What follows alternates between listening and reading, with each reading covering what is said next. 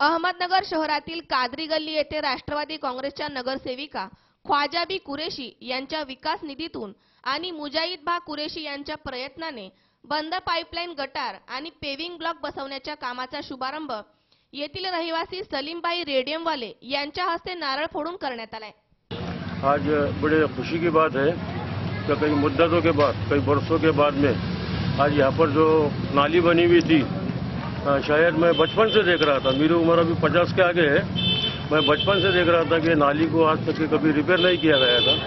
और, लगभग आज ऐसा महसूस हो रहा है जैसे हम इस मोहल्ले वालों के नसीब खुले कि आज कई वर्षों के बाद ये नाली को एक बंद गटार पाइप के रूप आया है।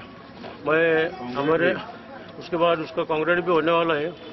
मैं, हमारे वार्ड के नगर सेवक मुजाहिद बाग कुरैशी, इनका शुक्रगुजार हूँ और शुक्रिया अदा करता हूँ कि उन्होंने इस मोहल्ले में ध्यान दे करके बहुत अच्छी तरीके से काम चालू किया है। इसके पहले भी किया है इनशाला इसके बाद भी करेंगे।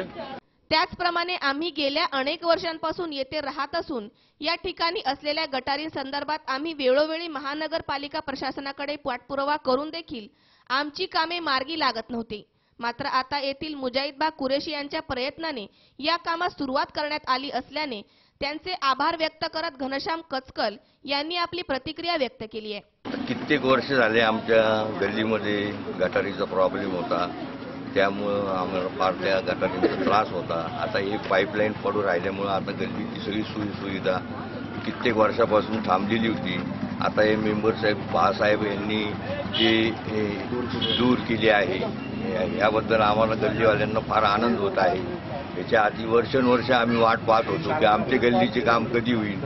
पण आता मुहूर्त लागला आहे ही फार आनंदाची बातमी आहे.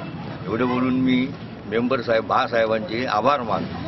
दरम्यान मुजाहिदबा कुरेशी यांच्या प्रयत्नाने या बंद पाईपलाईन गटारीच्या आणि पेव्हिंग ब्लॉक बसवण्याच्या कामास सुरुवात झाल्याने मुजाहिदबा कुरेशी यांचा तेथील नागरिकांच्या वतीने भव्य सत्कार देखील करण्यात आला. उमेर सय्यद सी चोवीस तास अहमदनगर.